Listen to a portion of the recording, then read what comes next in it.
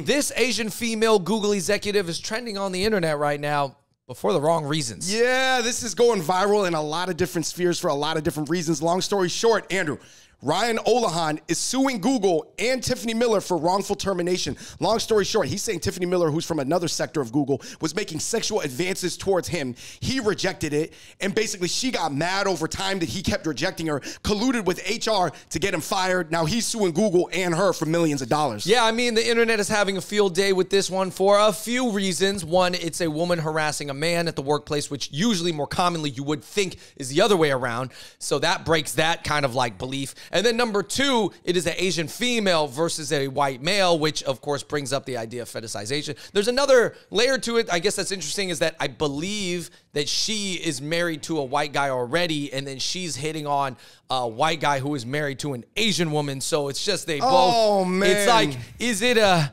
Is it make sense or is it weird? Whatever. I'm telling you, man, even a K drama writer, a novella writer, may have trouble thinking of this messiness at Google. I think it's coming on the heels of the layoffs, Andrew. People are like, hey, hey what, what's going on over there? So make sure you like, subscribe, turn on your notifications. By the way, of course, we still love the YouTube platform that is owned by Google. But uh, let's get into it, Andrew. On the mainstream publications, this article went viral. And of course, the comments section turned into a war between men and women and power dynamics, gender power dynamics in the workplace. Whose side is HR commonly on? Why didn't HR escalate this? This is because everything's stacked against men, even though pre 1970 it was stacked against women, and it's just a pendulum that's swinging in both directions unfairly.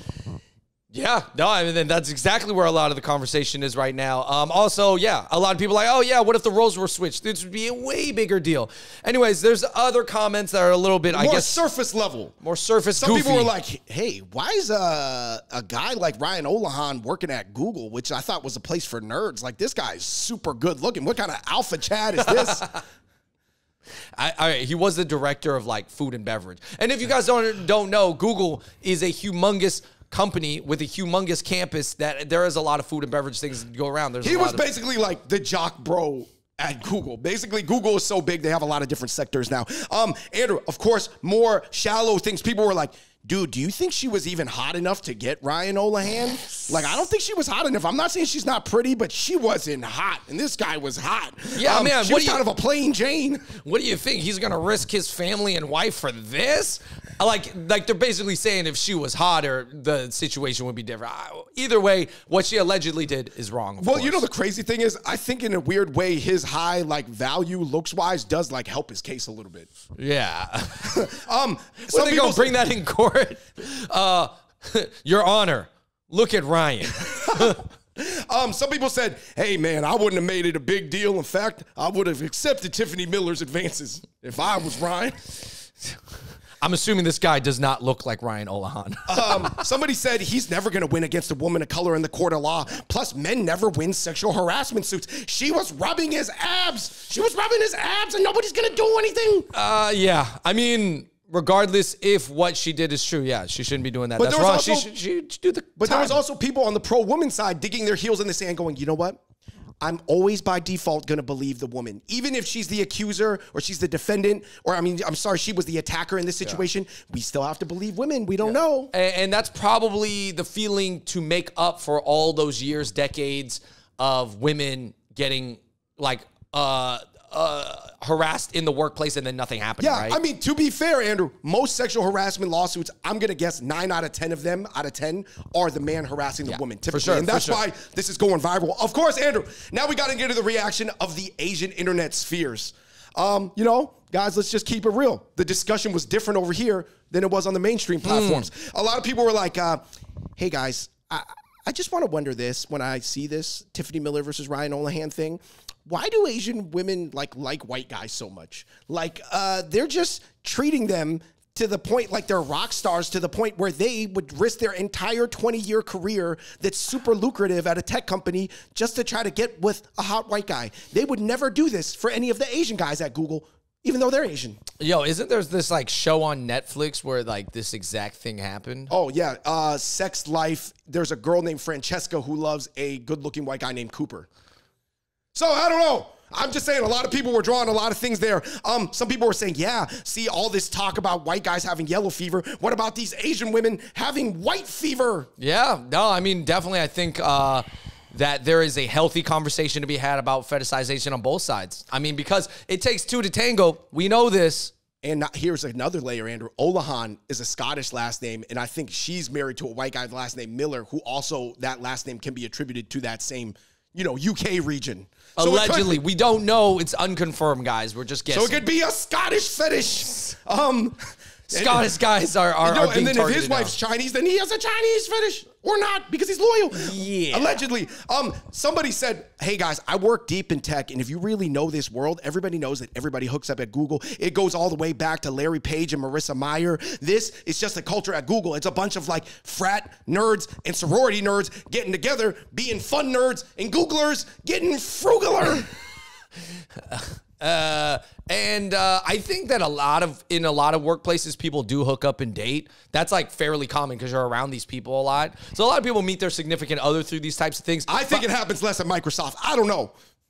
I, I'm just thinking Google Well, is more. Microsoft is in Seattle. It's Yeah, not as fun. it's You're not in as New lit. York City. Please go. on me. Uh, so, no, no, some of the New York hookup culture like seeped into the. the Oh yeah, offices. dude. It's uh I mean she was saying stuff like, "Hey Ryan, uh my marriage lacks some spice. Does yours?" Ah, like I know you like Asian women because you're married to an Asian woman. Allegedly. Yeah.